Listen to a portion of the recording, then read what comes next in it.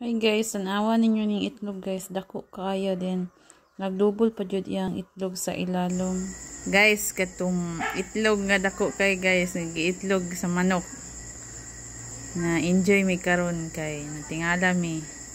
Nganong ang sulod niya itlog gihapon.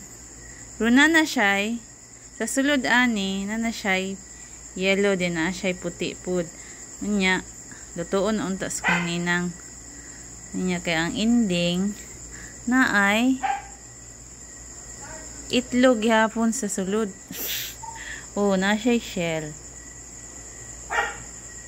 Pero guys, oh, ang ilalom.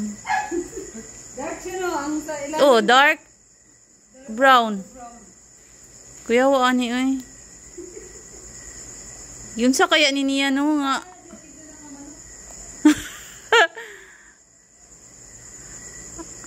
Yun sa kaya ni ba?